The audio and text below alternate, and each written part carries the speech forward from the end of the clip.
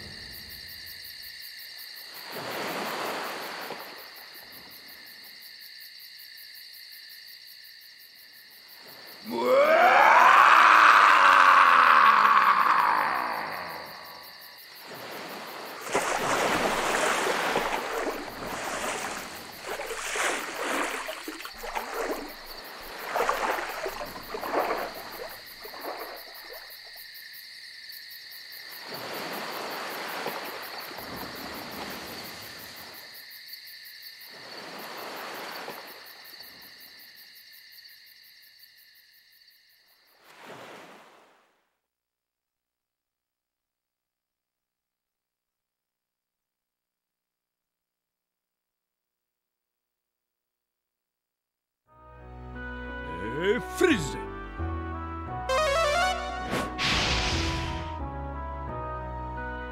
Eh, kaboom!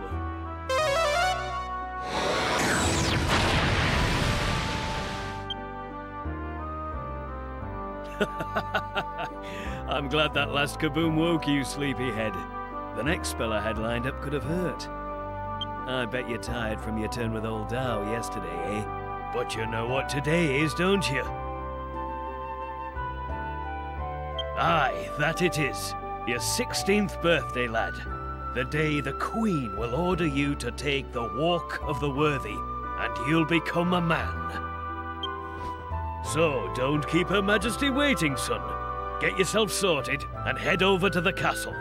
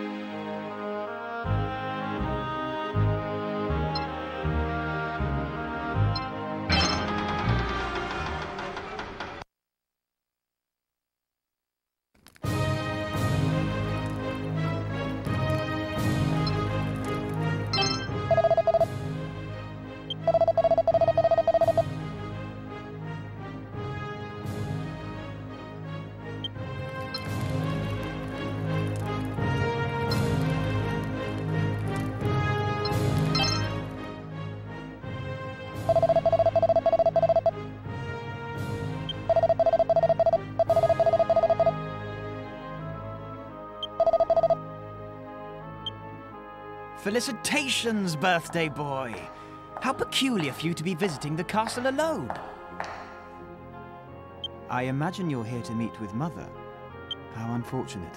She's made it quite clear that she does not wish to entertain visitors at present. She has even refused to grant me an audience, her own son.